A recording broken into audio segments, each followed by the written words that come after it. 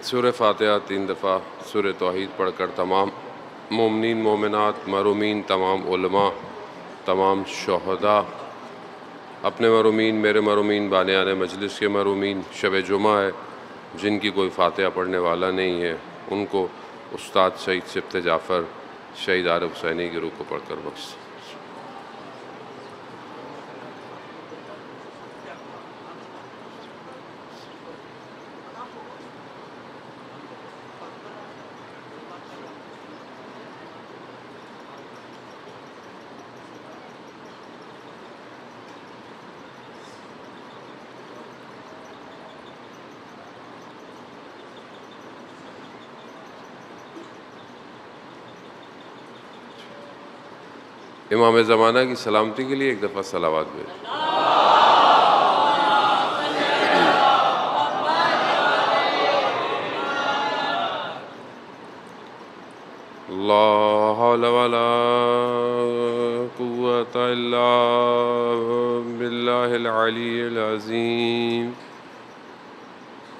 बिल्लाज़ीम हसबन व नमल वकील नमल मौला व नमन नसीर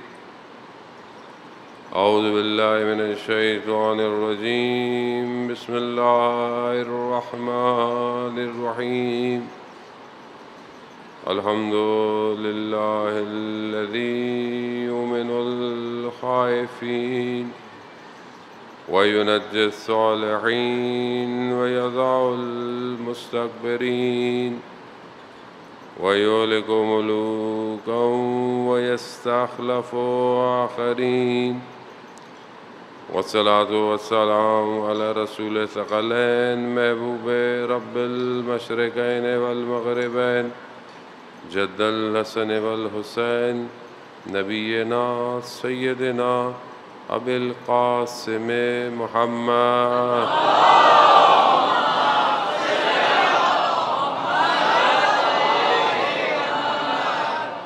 वाला तय्यबीन ताहरीन अलमासूमीन।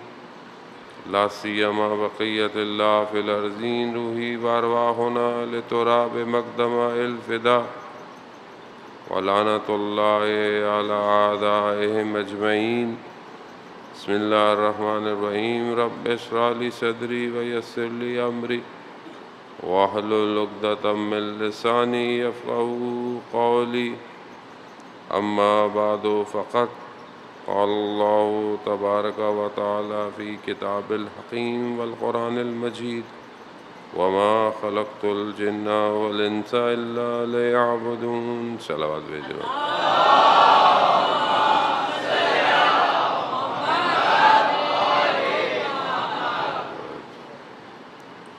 अज़ारा ने शहीद शहदा, माए मुहर्रम की पहली गुज़र गई शब दो और शब जुम्मा भी है। शब जुम्मा वैसे भी शब दुआ है, शब मग़फ़रत है, शब ज़्यारत शहीदुलशहदा सलाम भी है। हर शब शब जुम्मा मुस्तहब है। सईदुलशहदा सलाम की ज़्यारत की जाए, ज़्यारत पढ़ी जाए। खुदा इन हमें भी कोई शब जुमा करबला में नसीब फरमाए। परवदगार ने अपने वलियों को, अपने अम्बियाओं को एक ख़ास आजमाइश में मुबतला किया, ताकि उनके ज़रिए से अपनी मखलूक की हिदायत कर सके। आजमाइश और इम्तहान खुदा इसलिए भी करता है कि खुदा देखना चाहता है कि कौन साबित कदम रहता है। हमारी ज़िंदगी में जो नॉर्मल आजमाइश और इब्तलात हैं, वो भी इसलिए हैं। और अगर इंसान का इम्तहान ना लिया जाए तो वो कैसे पता चलेगा? कि वो दूसरे से बेहतर है या नहीं।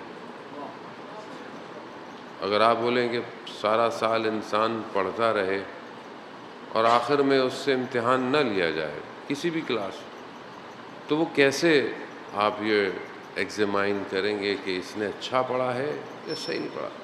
हर चीज़ के इम्तहान हैं, हर चीज़ के दुनिया में, चाहे एजुकेशन सिस्टम हो, वो कि हर किसी का अपना अलग तरीका हो सकता है, लेकिन टेस्ट टेस्ट है।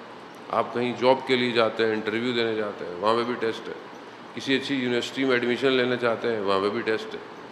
अब ये आजमाइश, ये टेस्ट ये इम्तहान बेसिकली आपको चेक करने के लिए होते हैं कि जिस चीज़ के लिए आप अप्लाई कर रहे हैं, क्या आपके अंदर काबिलियत भी है कि नहीं है? और जब खुदा की तरफ़ इंसान बढ़ना शुरू करता है और चाहता है कि वो कमाल तक पहुँचे तो खुदा उसे आजमाइश में डालता है। क्यों डालता है? ताकि चेक करे, क्या इसके अंदर कमाल तक पहुँचने की सलाहियत भी है कि नहीं है? जो आदमी ज़रा से इम्तहान में मुतजलजल हो जाए, उसकी जो इस्तकामत है वो लरजने लगे तो वो शख्स कैसे खुदा की राह में साबित कदम रह सकता है? क्योंकि आसान नहीं है। आपके सामने अल्लाह ने नबियों को आजमाइश में डाला। हज़रत आदम आजमाइश में डले। ऊपर से पहली आजमाइश ऊपर ही हो गई। अल्लाह ने कहा कि यहाँ नहीं जाना, इस दरख्त तक नहीं जाना। चले, आजमाइश हो आजमाइश हुई, नीचे उतरे, गिरिया, रोना और उसके बाद बाहर आ आबिल और काबिल के दरमियान में अल्लाह ने आजमाइश डाली। एक कबूल हो गया, दूसरा कबूल नहीं हुआ। हर नबी आजमाइश में आया। हज़रत नू इतने सौ साल तबलीग की आजमाइश थी। नबी के लिए अलग इम्तहान होते हैं। नबी को खुदा अलग तरीके से जो है वो उसको साढ़े नौ सौ साल तबलीग करने के बाद भी थोड़े से लोग जो हैं वो मोमिन है। खूब ये अल्लाह नबी के ज़रिए से देख रहा है, नबी सब्र किए जा रहे हैं, बढ़ता जा रहा है, मामला बढ़ता जा रहा है, अजाब डिले होता जा रहा है। अल्लाह उसको और प्रोलोंग कर रहा है कि देखे, सिर्फ़ नबी नहीं, बल्कि वो लोग जो ईमान लेकर आए हैं, खुदा उन्हें भी देखना चाहता है, क्या ये साबित कदम रहेंगे या नहीं रहेंगे? बाज़ हम अपनी ज़िंदगी में जो चाहते हैं हमारी ज़िंदगी हो कि बस हमारी ज़िंदगी अच्छी गुजरे। अच्छी से मुराद हमें कोई मुश्किल ना हो, कोई परेशानी ना हो। मतलब किसी आजमाइश में ना डाला जाए। ऐसा मुमकिन नहीं है। असल दुनिया की खासियत में ये इम्तहानात हैं। आप पानी से गीलापन नहीं छीन सकते। नमक से उसकी तुरशी छीन नहीं सकते। नमकीनपन, उसकी नमक की खासियत है। इसी तरह इस दुनिया की खासियत इम्तहानात हैं, आजमाइशें हैं। आप बोले मेरी ज़िंदगी में कोई इम्तहान ना हो, कोई आजमाइश ना हो, और बस मैं ज़िंदगी बड़ी अच्छी गुजार लूँ नहीं गुजार सकते। और मोमिन हर लम्हे आजमाइश में डाला जाता है, ताकि खुदा उसके दर्जात को बढ़ाए।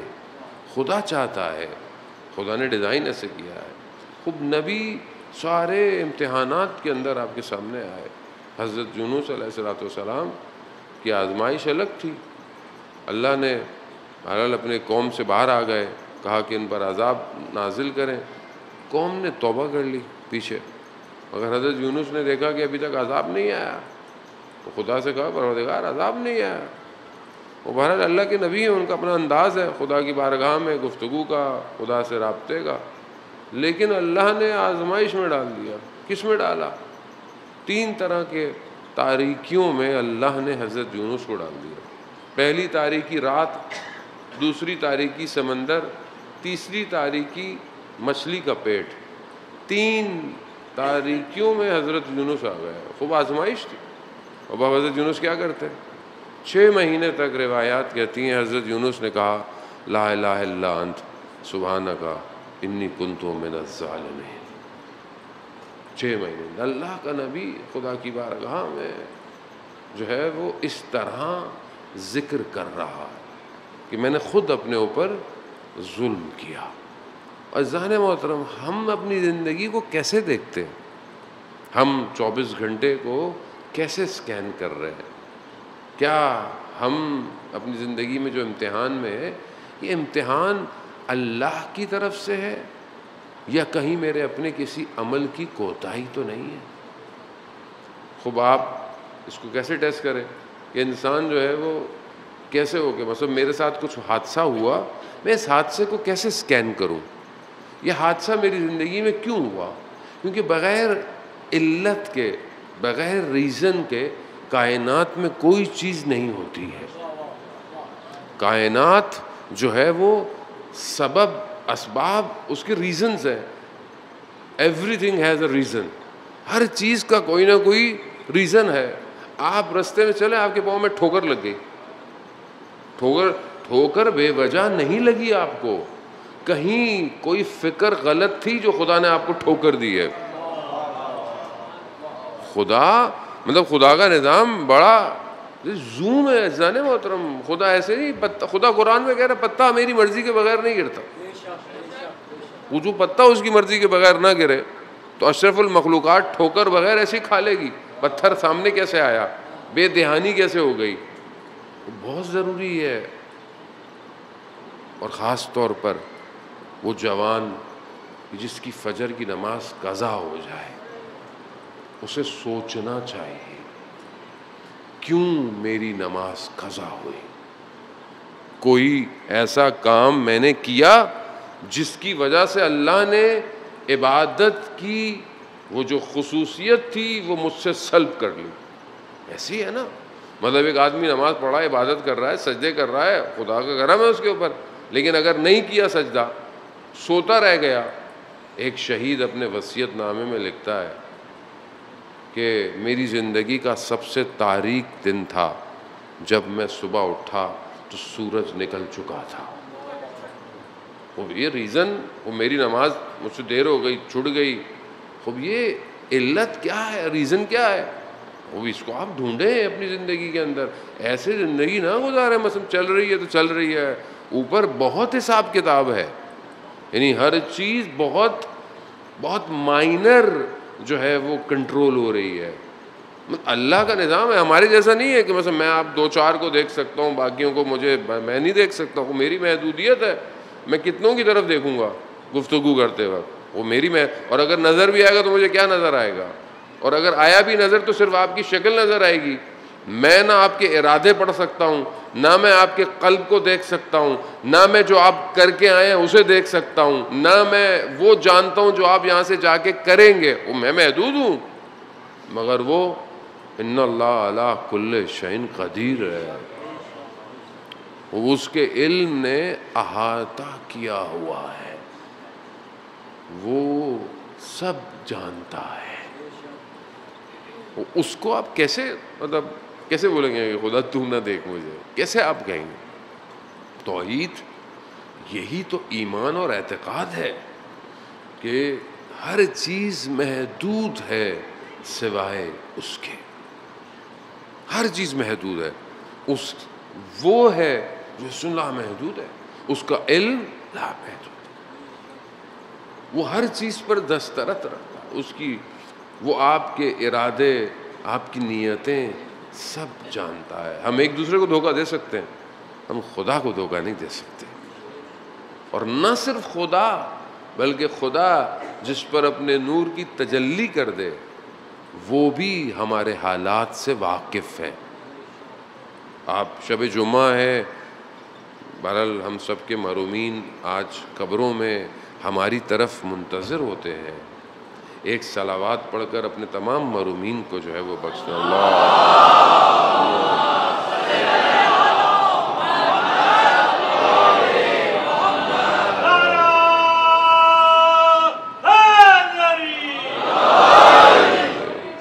वजान मतरम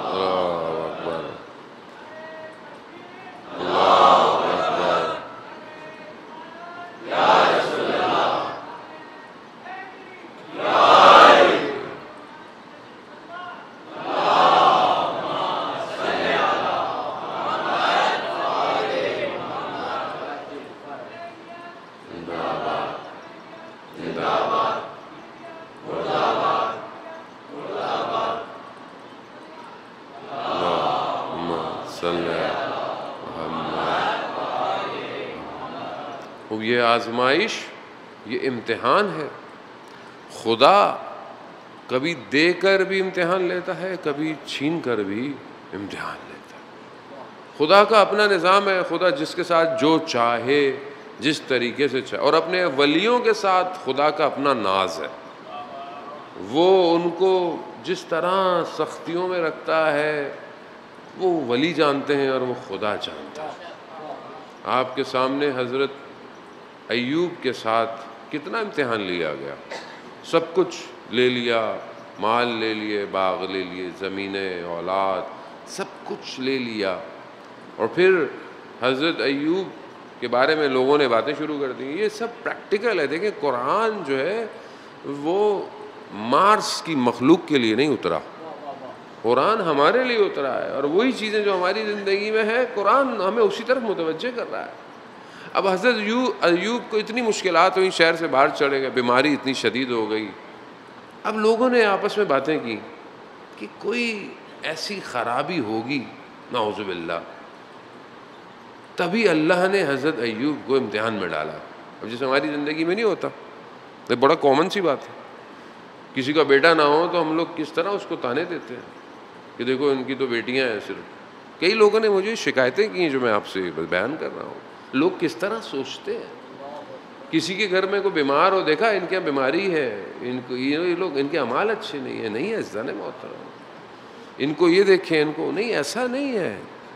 यकीनन इंसान की अपनी गलती, कोताही होती है, लेकिन हम कौन होते हैं किसी के लिए उसकी तकालीफ को मुशखस करने के लिए? हमें अपनी आजमाइश देखनी चाहिए। हमें ये देखना चाहिए कि मेरे ऊपर इम्तिहान क्यों नहीं आ रहा? कहीं ऐसा तो नहीं है, खुदा ने मुझे मेरे हाल पे छोड़ दिया है।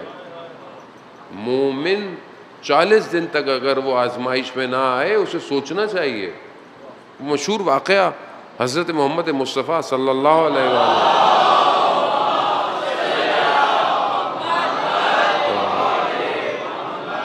रसूल खुदा, एक एक शख्स ने रसूल खुदा को कहा कि मतलब मेरे घर आए, दस्तरखान खाने पर आए, बहुत इसरार किया। रसूल खुदा एक दफ़ा चले गए, बैठे थे। तो देखा ऊपर दीवार पर मुर्गी बैठी, उसने अंडा दिया, अंडा नीचे की तरफ़ आया तो सबकी निगाह उसकी तरफ़ पड़ी तो उसने कहा कि परेशान मत हो, ये नहीं टूटेगा, और वो फंस गया रास्ते में कहीं।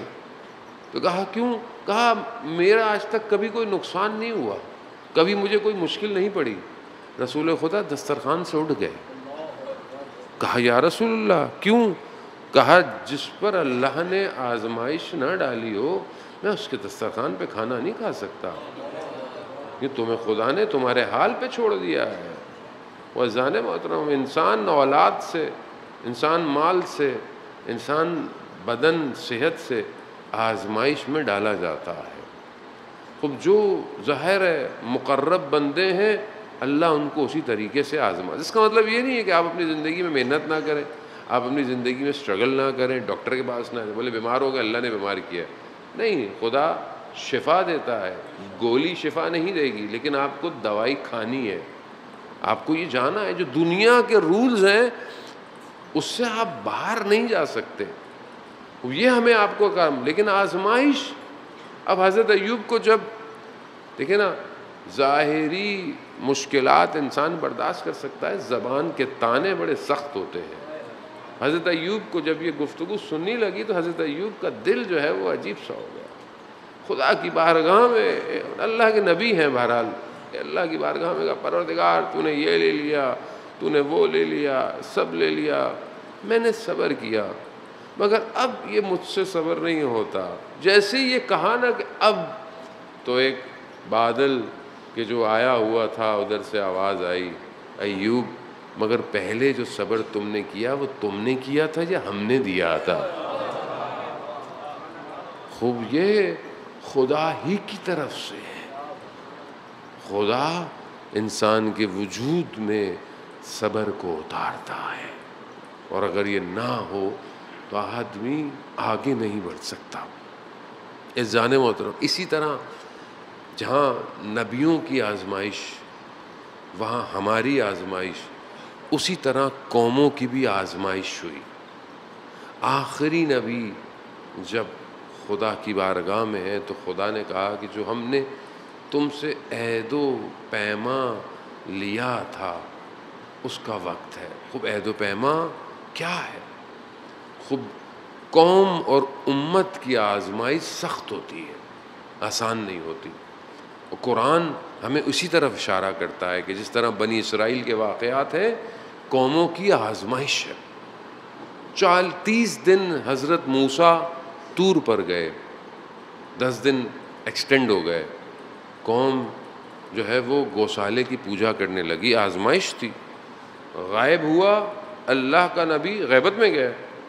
गैबत में कौम गुमराह हो गई।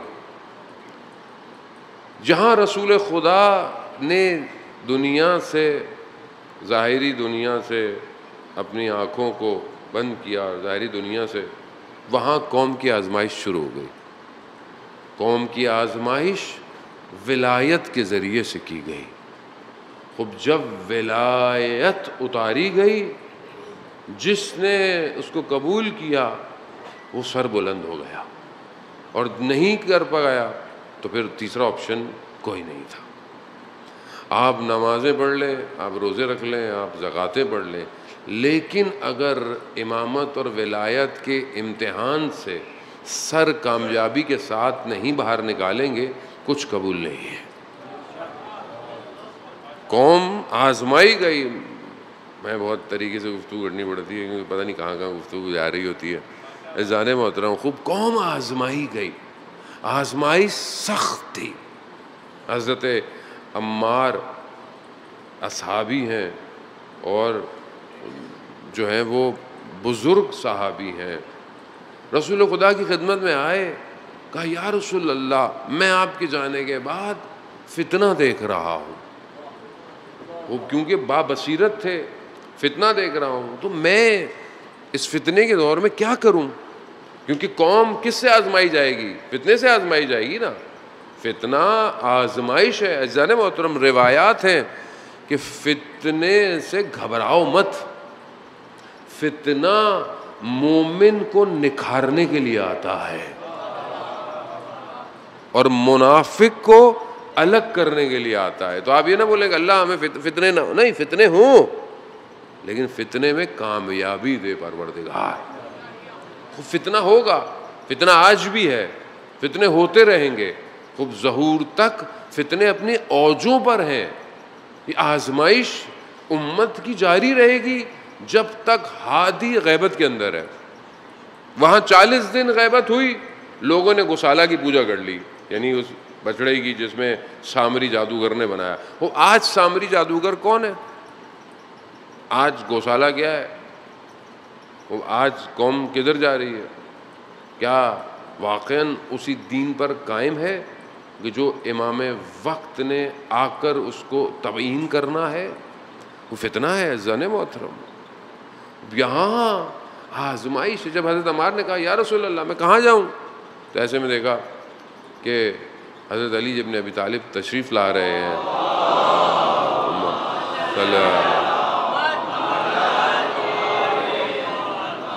तशरीफ़ ला रहे हैं। रसूल खुदा ने कहा अम्मार पूरी दुनिया के लोग एक वादी में और अली एक वादी में हो।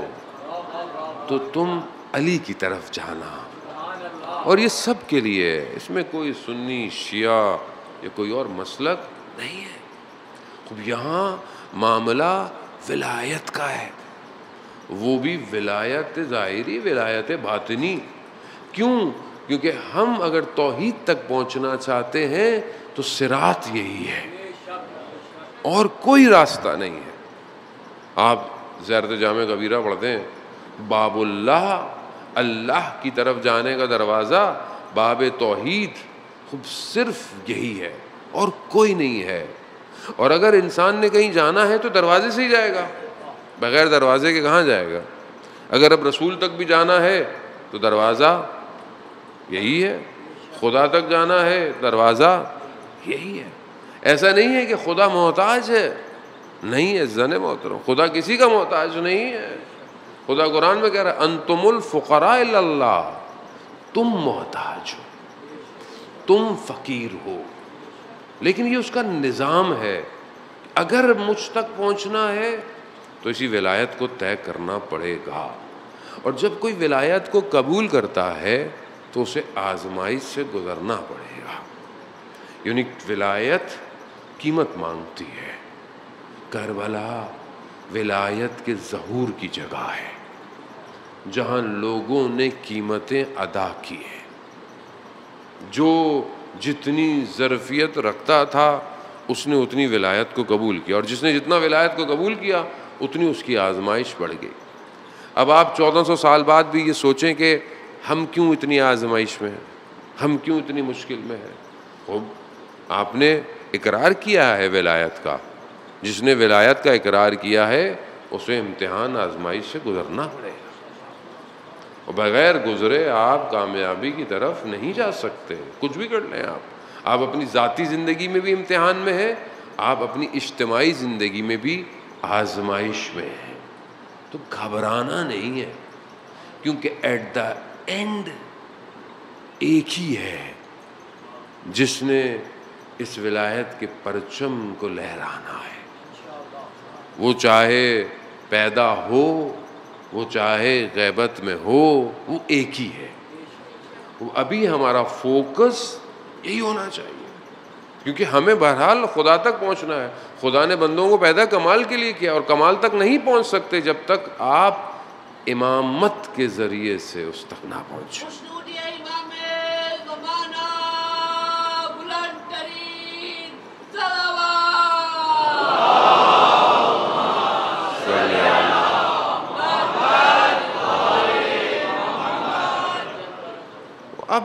खूब ये विलायत, तासीर गुजार है, इंसान के ऊपर असर करती है। इंसान अपनी ज़िंदगी में इसको टेस्ट कर सकता है, आजमा सकता है। इंसान इस विलायत के ज़रिए से पहचाना जाता है। और ये विलायत जिसके वजूद में आ जाए, उसका किरदार तब्दील हो जाता है। उसका इखलाक बदल जाता है। उसका उठना बैठना बदल जाता है। उसकी गुफ्तगु अलग है। उसकी निगाहें अलग हैं। अब हम देखें जितनी तासीर हमारे ऊपर है विलायत की, उतना असरअंदाज होगा। और इंसान तोहहीद तक नहीं पहुँच सकता, जब तक इंसान विलायत के वजूद और रस्ते से ना गुजरे। वो तोहहीद जो है वो ला ला है। वो आपने वो मशहूर हदीस सुनी है कि जो इमाम रज़ा सलाम ने बयान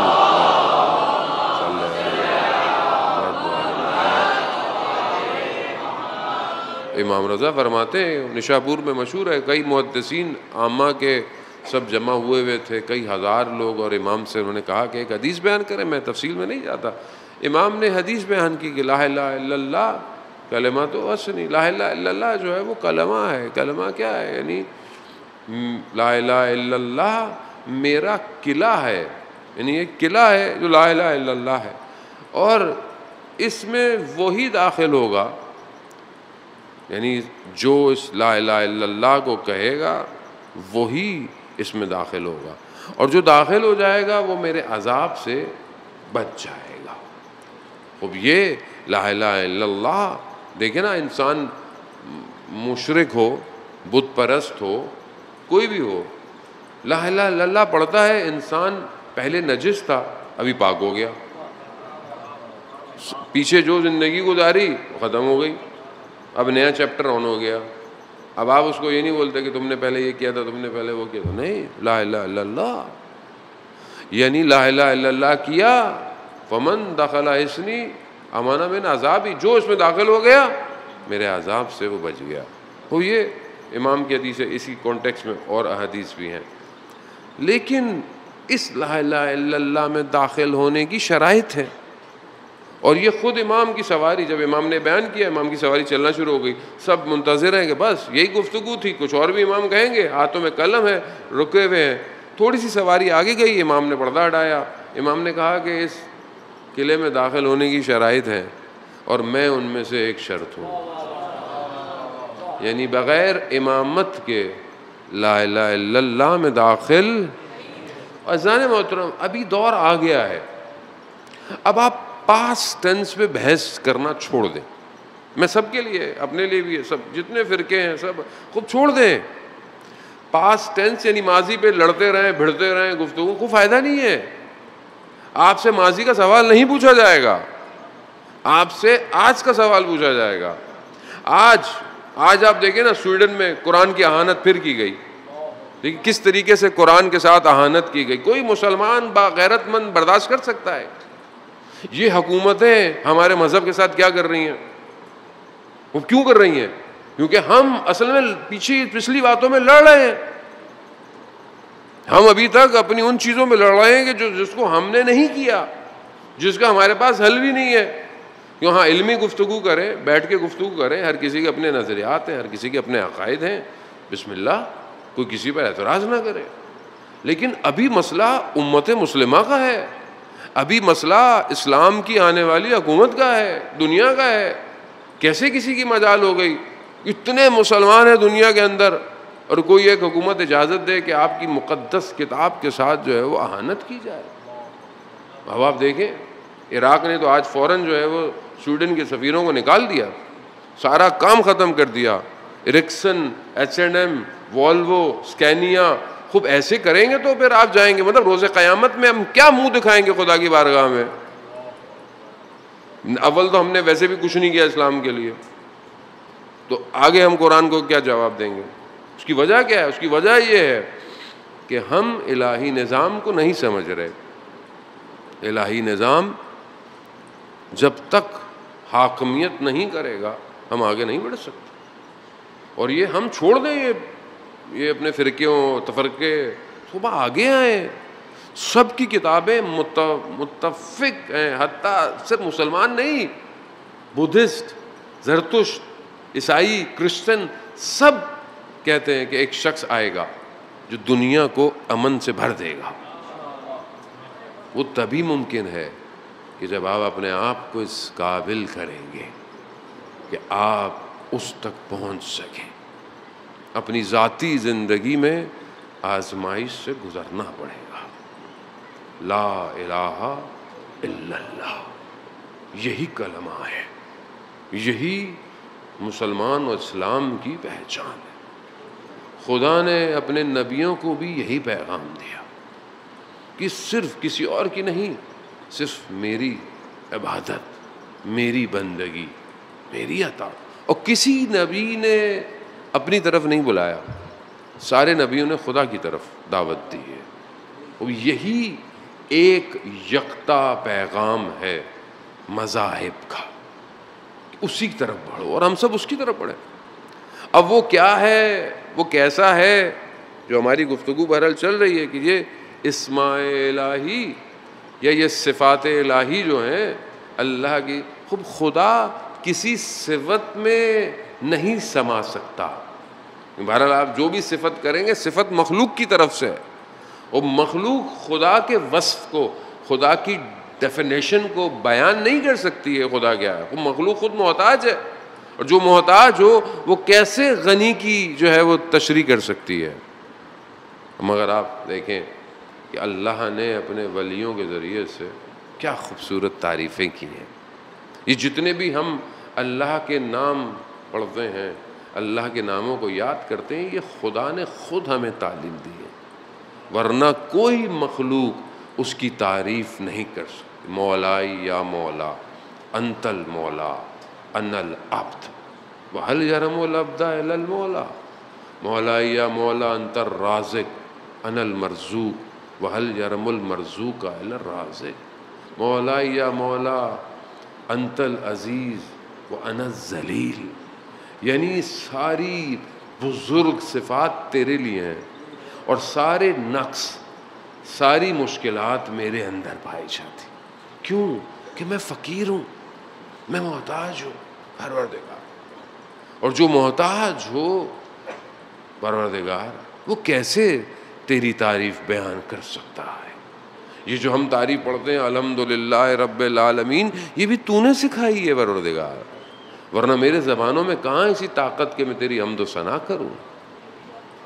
चौथे इमाम इमाम सल्लल्लाहु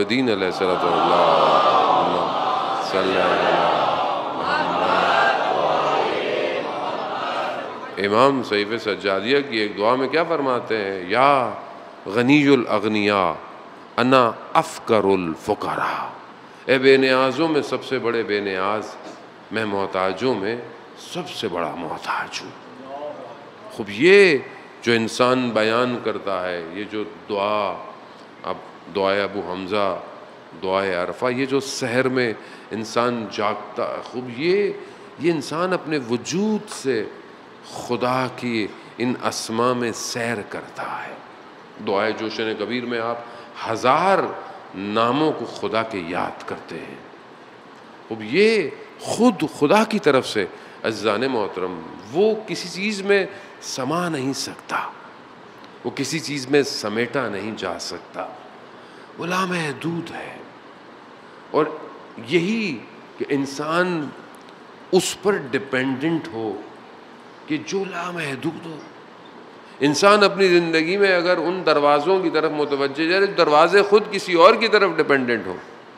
तो इंसान कैसे अपनी ज़िंदगी गुजार सकता है?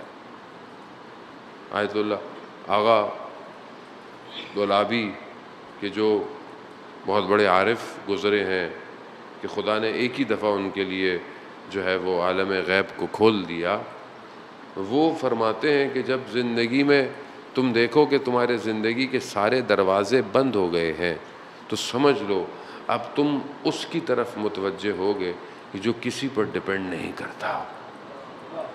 खूब ये ज़िंदगी में इंसान अपनी ज़िंदगी में आज, इसीलिए सबसे पहले इंसान को खुदा की बारगाह में सजदा रेज होना कोई मुश्किल आए, कोई परेशानी आए, कोई भी चीज़ आए, सबसे पहले इंसान खुदा की तरफ़। खुदा खुद कह रहा है बनी आदम तो मैंने सारी चीज़ों को तुम्हारे लिए खल किया है, मगर तुम्हें मैंने अपने लिए खल किया है।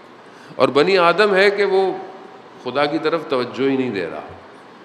अपनी ज़िंदगी में मशगूल है। ज़रा सा इम्तहान मुश्किल पड़े, शिकवे शुरू हो जाते हैं। खुदा तूने ये कर दिया, मेरे साथ ऐसा हो गया, मेरे साथ। तो खूब, हमारी ज़िंदगी कितने दिन है? कितने दिन है? साठ साल, सौ साल, सात सौ साल, जो कि मुमकिन नहीं है बहरहाल। मतलब आप कर लें, आप सात सौ साल ज़िंदा रहे। सात सौ साल। सात सौ साल माइनस इन्फिनिटी, जो मैथ्स के स्टूडेंट है। जवाब क्या आएगा? इन्फिनिटी आएगा। तो आपने यहाँ कितने दिन रहना है? सौ साल। सात सौ साल चले, रह ले।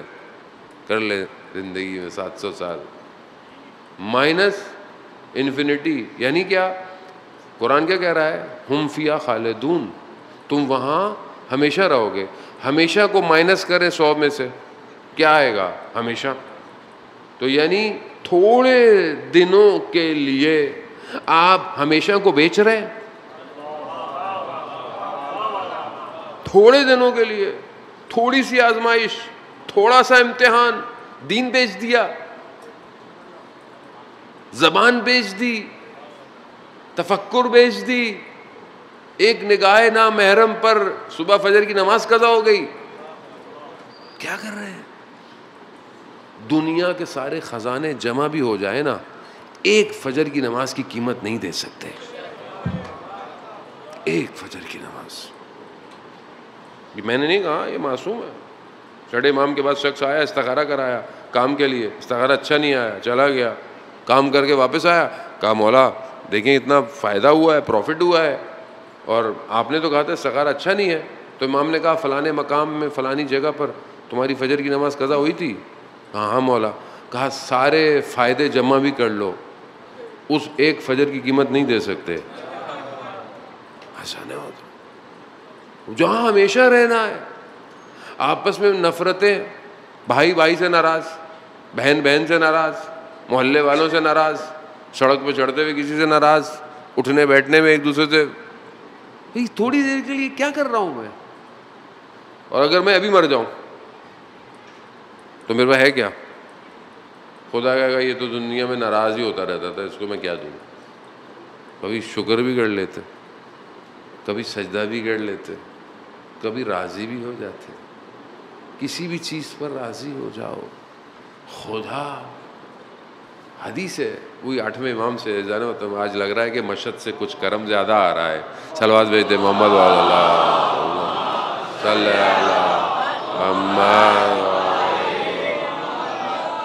हमारी तो जाने फिदा। आठवें इमाम पर, हमारा तो सब कुछ वैसे भी आठवें इमाम का है। वो हमारे पास तो कुछ भी नहीं, ना आना है, ना जाना है, ना तालीम है, ना कुछ है। वो उन्होंने इज़्ज़त दी हुई है तो मामला चल भी रहा है। और वो और एक उनकी बहन, दोनों का करम है। जो मामला जो है वो ज़िंदगी में चल रहा है। जान मोहतरम आठवें इमाम इरशाद फरमाते हैं, अगर तुम अल्लाह के कम दिए हुए पर राज़ी हो जाओ तो खुदा तुम्हारे कम अमल को भी कबूल कर लेगा। उसके कम दिए, पर राज़ी हो जाओ। वो कहता जो दिया, राज़ी हो जाओ। तुम्हारी रज़ा, ये सब जो कनेक्शन है ना, ये उस मारफत का है कि इंसान को खुदा की तोहद की मारफत हो। कि मैं किसके सामने खड़ा हूँ? मैं किसके सामने हाजिर हो रहा हूँ? कौन है कि जिसके इख्तियार में पूरी कायनात है? कौन है जिसके इरादे से सब खल्क हुआ है? कौन? खूब, ये ज़रूरी है। ऐसे लोग इश्क में दीवाने नहीं हुए, जाने मोहतरम। जिन्होंने खुदा की मोहब्बत को ज़रा सा चख लिया, दुनिया ने उनको किसी को मजनू कह दिया, किसी को पता नहीं क्या क्या कह दिया। खूब, असल तो इश्क इश्क इलाही है। वो एक जवान दुनियाई मजाजी जो मोहब्बत होती है उसकी खातिर सख्त सर्दी में अपनी खिड़की के किनारे बैठा रहा कि शायद महबूब की कोई एक झलक मुझे किसी वक्त नज़र आ जाए। सख्त सर्दी, मगर महबूब नज़र सारी रात नहीं आया, मगर सर्दी में बैठा रहा। मगर उसने देखा कि सुबह के वक्त कुछ और लोग किसी और महबूब की बारगाह में जा रहे हैं। और देखा कि है शहर का वक्त है, अजान हो रही है। देखा कि सारी रात बैठा रहा, महबूब ने एक झलक नहीं दिखाई। और ये उस महबूब की एक आवाज़ पर सख्त सर्दी में उठ के जा रहे हैं। तो उसने बोला कि मैंने अपनी रात को कहाँ गुजार दिया? अगर मैंने भी उसकी मोहब्बत में गुजारा होता, आज मैं कहाँ खड़ा होता? बहुत जाना होता अल्लाह अकबर। या रसूल अल्लाह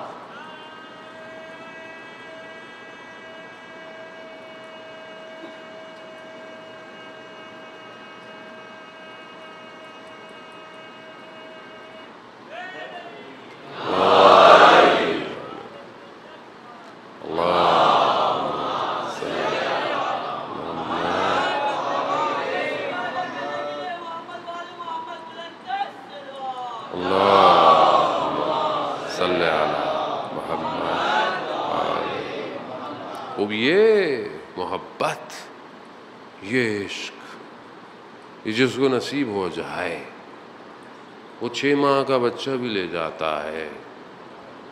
वो कड़ियल जवान भी ले जाता है। वो जिसे इश्क जिसकी जितनी मारफत, जिसकी जितनी मोहब्बत बढ़ती चली जाती है, उसकी कुर्बानी भी बढ़ती चली जाती है। और जो जितना ज़्यादा इस मोहब्बत में मुबतला होता है इतना वो अपने महबूब की तरफ़ मुतवजह होता है। यहाँ चेहरे पर शिकन नहीं आई कि क्या क्या लुट गया। कोई शिकन नहीं आई। कहीं कोई जुमला मकतल में किसी मकाम पर आया हो, किसी बदन को लाते हुए आया हो, किसी बदन पे पहुँचते वक्त आया हो, कोई नहीं आया। क्यों? ला इल्लल्लाह। नहीं है कोई। तेरे सिवा कोई नहीं है। बेबी अंता व उम्मी सब कुर्बान। ये तो घराना ऐसा है। जिस घराने की तरबियत ही ऐसी हुई है। इस घराने ने गो के कूचा बनी हाशिम के कच्ची दीवारों का घर है। मगर इस्लाम की बका ऐसी घर से है। वो यहाँ तरबियत ऐसी हुई हुई है। हम जाने वाले, उतरने वाले, दो मुहर्रम हो गई है, कारवां जो है वो कल पहुँच जाएगा बरलाज शब दो है। कैसे उतरेगा, कहाँ उतरेगा, कौन उतरेगा, कौन किसकी तैयारी करेगा, वो कहीं कोई शिकवा, कहीं कोई शिकायत नहीं है। करबला यही है। हम दस दिन हद अकल, वरना दो महीने, आठ दिन, हम इसी दर्शगाह में आते हैं ना, यहाँ से उठने के बाद हमारी भी तो थोड़ी तो कैफियत तब्दील होनी चाहिए। हम भी अपनी ज़िंदगी में कम अज़ कम दो महीने तो शिकवा ना करें कि खुदा ये क्या है? नहीं नहीं, मैं हुसैन के गम में हूँ, खुदा मैं कैसे शिकवा कर सकता हूँ? जब हुसैन की बहन ने सब कुछ देकर भी ये नहीं कहा कि ये क्या हो गया, ये ना। हो ही नहीं सकता। इनसे ज़्यादा मारिफत किसी को है ही नहीं। तोहीद सीखनी है, इनके घर से सीखिए। क्या कहा? तकबल मिन्ना, परवरदिगार कबूल कर ले। यानी इतना सब कुछ देने के बाद भी खुदा से कहा जा रहा है, परवरदिगार कबूल कर ले। ये तोहीद है, ये जलवे हैं, ये इश्क है। कि शाम गरीबा में अल्लाह अकबर। अपनों के बदन बिखरे पड़े हैं। खेमे जल चुके हैं। अजादारा ने बता हूँ उसके बावजूद तहजद के सजदे हो रहे हैं। अल्लाह अकबर। ये तो ईद है, ला करबला, ला इल्लल्लाह को गुमान ना करे कि ये मजलिसें किसी फ़िरके की हैं। नहीं, ऐसा ये बशरियत की बका है। अगर चाहते हो बाकी रहो, आओ। अज़ाए हुसैनी में आओ। ये अश्क तुम्हारी आखरत का सरमाया है। ये अश्क तुम्हारे वजूद को पाक करते हैं। तो जब तुम पाक हो, यही तो कहा, मेरा सलाम हो, आठवें इमाम पर। इमाम यही तो फरमाते हैं यबन शबीब। जब मुहर्रम आते थे, इमाम ने हमेशा स्या जो है वो लिबास पहन लिए। इमाम जो है वो मुस्कुरा नहीं रहे। यबन शबी फिर गिरिया, इमाम फरमाते हैं, गिरिया पाक करता है। और उसके बाद इमाम फरमाते हैं, जब भी इनको याद करो ना करबला वालों को। या लेतनी कुन तो माकुम। फ़ाफूज़ो फ़ौज़न अजीमा याद करो। आइए, पहली मुहर्रम का दिन गुजर गया। उस शहीद को याद करें कि जो गुर्बत में मारा गया। गुर्बत। गुर्बत। अजीब। इमाम जब भेज रहे हैं तो इमाम ने जो खत लिखा है ना, कूफा वालों के लिए, क्या कहा? ये नहीं कहा कि मेरा रिश्तेदार है। नहीं, मेरा भाई है। अपना भाई का सिक्का। यानी मेरा मोरद एतमाद है, मेरे भरोसे का आदमी है। कुर्बान जाऊँ मैं हज़रत मुस्लिम पर। आसान नहीं है, जाने मकाम हासिल करना, विलायत का आसान नहीं है। ऐसा मकाम हासिल किया हज़रत मुस्लिम ने। मैं जब पिछले साल तोफ़ी वो तो हर साल अरबईन में तो होती है, लेकिन कोफा ज़ाहिर जब इंसान खलवत में जाता है तो वो आम दिनों में जाता है। तो जब मैं आखिरी दफ़ा मस्जिद कोफा गया, हज़रत मुस्लिम के रोज़े पर, मैंने हज़रत मुस्लिम से एक ही एक ही रिक्वेस्ट थी एक ही दरख्वास्त, आखिर आपने ऐसा क्या किया? कि जहरा का लाल अपने आखिरी गुर्बत में, जब सब ख़त्म हो चुका था, अपनी तलवार के सहारे दश्ते करबला में सबसे पहले आपको याद किया है। सबसे आईना आईना आईना आईना मुस्लिम, दाएँ देखा, बाएँ देखा। कहा हो मुस्लिम? तो मतलब क्या यानी हज़रत मुस्लिम, इमाम हुसैन के बड़े करीब हैं। और ये ये आम बात नहीं है जालिम मोहतरम। यानी, हुसैन के इतना करीब होना।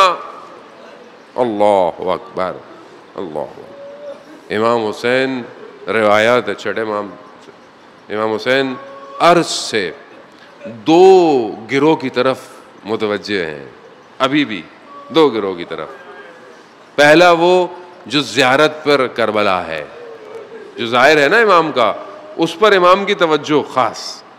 और एक वो गिरोह कि जो इमाम हुसैन के लिए गिरिया कर रहा यानी हम भी इमाम से दूर नहीं है जाने मोहतरम। हम इमाम के करीब हैं। ये ये फिर वक्त मिलेगा तो इनशाला ये गुफ्तगु करेंगे कि ये रोता क्यों है आदमी?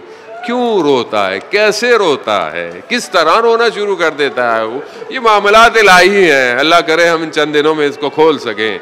हो ने मुस्लिम शब जुम्मा है। सारी रूहें इस टाइम करबला में हैं।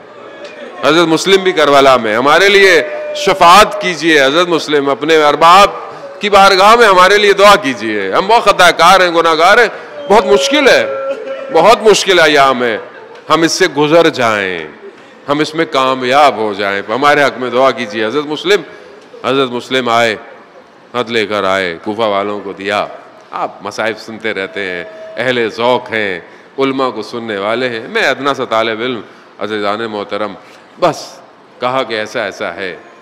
लोग आए, जोक दर जोक आए, खवास आए, सबने हज़रत मुस्लिम की बहत की।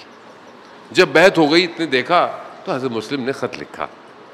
इमाम हुसैन मौला यहाँ लोग आपका इंतज़ार कर रहे हैं। लोगों ने बैत कर लिए आप कुफा आ जाए। बस, यह नामा चला गया। बस, उसके बाद क्या हुआ? इबन ज़्याद लईन कुफा में आया, बड़े चाल चल कर आया स्ट्रेटजी प्लानिंग से आया। लोग नहीं पहचान पाए। वक्त नहीं है कि उस पर गुफ्तु की जाए। आ गया। आहिस्ता आहिस्ता लोगों का माल खौफ, जान, घर, तलवारों को सोनों से ख़रीदना शुरू कर दिया। करते करते कोफा वालों की आजमाइश शुरू हो गई। कोफा वाले अपने इम्तिहान में नाकाम हो गए। हुसैन का सफ़ीर तनहा रह गया। जोहर की नमाज़, हज़ारों लोग हैं। मगरिब की नमाज़ में कोई नहीं खड़ा। कोफा की गलियों में सन्नाटा मुस्लिम गलियों में अकेले खड़े हैं। एक दीवार के सहारे एक बूढ़ी खातून दरवाज़ा खोलती है, देखती है कौन है? फिर देखती है, कहती है, जवान, तुझे पता नहीं है गुफा के हालात? पैरा लगा हुआ है। तू अपने घर क्यों नहीं चला जाता? कहा, मेरा घर नहीं है। कहा मुसाफिर है। कहा, पानी चाहिए? पानी दिया। कहा, कहाँ से हो? हाँ मेरा ताल्लुक मदीना से है। मदीना का नाम सुनना था। ज़ाहिर है, ख़ानदान इतरत की मानने वाली थी। कहा, मदीना में कहाँ से हो? कहा, महल्ला बनी हाशिम से हूँ। महल्ला बनी हाशिम से हो? महल्ला बनी हाशिम में कौन? कहा, मुस्लिम इब्ने अकील हूँ। ये नाम सुनना था। कहा, मेरे मौला मुझे माफ़ कर दे। मुझसे गलती हो गई। आप अंदर तशरीफ़ लाएँ। आए, मैं आपकी क्या खिदमत करूँ? कुछ कहें। कहा, नहीं, मुझे कुछ नहीं चाहिए। मुझे एक जगह दे दो। मुसल्ला दे दो। अल्लाह अकबर। मुस्लिम भी जानते हैं, ये शब इबादत की है। बस अजादारा ने मौत। किस तरीके से हज़रत मुस्लिम को आप जानते हैं? घेरा गया, ज़ख्मी किया गया, लेकर गए। चंद जुमले और आपसे अल्तमा से दुआ। हज़रत मुस्लिम को ले, ज़ख्मी है, खून कहीं पेशानी से है। इबन ज़ियाद लईन ने पूछा, कोई ख्वाहिश है? कोई वसीयत है? कहाँ कुछ मेरा कर्ज है। ये मेरे कुछ चीज़ें बेच के दे दिया जाए और हाँ मेरा पैगाम जो है, वो इमाम हुसैन तक पहुँचा दिया जाए। कहा, क्या पैगाम है? कहा कि, कूफा वफा न दारत। कूफा में वफा नहीं है। बस। हज़रत मुस्लिम को लेके गया हज़रत मुस्लिम गिरिया कर रहे हैं, रो रहे हैं। पूछने वाले ने पूछा, ऐसा काम क्यों करते हो कि रोना पड़ेगा हाँ मैं अपने लिए नहीं रो रहा? मैं हुसैन के बच्चों के लिए रो रहा बस। दारुल अमारा की बुलंदी पे पानी दिया गया। खून के कतरे पानी में गिरे। दूसरा जर्फ आया, फिर खून गिरे। तीसरा जर्फ, खून गिरे। हज़रत मुस्लिम ने पानी नहीं पिया। कैसे पीते? जब अरबाब प्यासा शहीद होने वाला है तो मुस्लिम कैसे पानी पिए? बस अजादारा ने मोहतरम। बस, सर को तन से जुदा कर कर बदन को नीचे फेंक दिया गया। जुमला सुनेंगे? हज़रत मुस्लिम के बदन को कूफा की गलियों में गो। क्यों? हज़रत मुस्लिम कूफा की गलियों को तैयार कर रहे हैं। अली की शहजादियाँ आने वाली हैं। गली तैयार है। अजादारा ने पहला सर है। जो गुफा के दरवाजे पर लटकाया। बस आपने गिरिया किया। शब जुम्मा है। बहरहाल मैं बहुत माजरत चाहता हूँ। मैं माफ़, माफ़ी चाहता हूँ। शब जुम्मा है। नहीं पता, आखिरी मजलिस हो। बंदा उठे, दुनिया से चला जाए। आप उठे, ना उठे, नहीं पता। हर रोना, आखिरी रोना समझा करें। शायद यही आँसू बचा के ले जाए। खबर पहुँची, इमाम है। इमाम को पता चल गया, लेकिन इमाम है, इमाम ने बोला, लोग आए। एक मकाम पर बताया, उन्होंने बताया कि हमने आखिरी जो देखा है कि हज़रत मुस्लिम के बदन को कूफा में घसीटा जा रहा है। ये सुनना था। इमाम ने हज़रत मुस्लिम के भाइयों को बुलाया, खबर शहादत दी, पूछा कि भाई क्या इरादा है तुम लोगों का? कहा, मौला क्या? क्या मतलब भाई तुम्हारा शहीद हो गया कहा हम आपके साथ जाएँगे, भाई के खून का बदला लेंगे, और अगर नहीं तो उसी तरह जिस तरह वो शहीद हो गया है, हम भी शहीद हो जाएँगे। कहा ठीक है। मौला खेमे में आए। बीबी जैनब को मुखातिब किया। कहा, जैनब, हमीदा को बुलाओ। छोटी बेटी है मुस्लिम की। बस आखिरी जुमला, आखिरी। आपकी भी बेटियाँ हैं। खुदा बेटियों को सलामत रखे।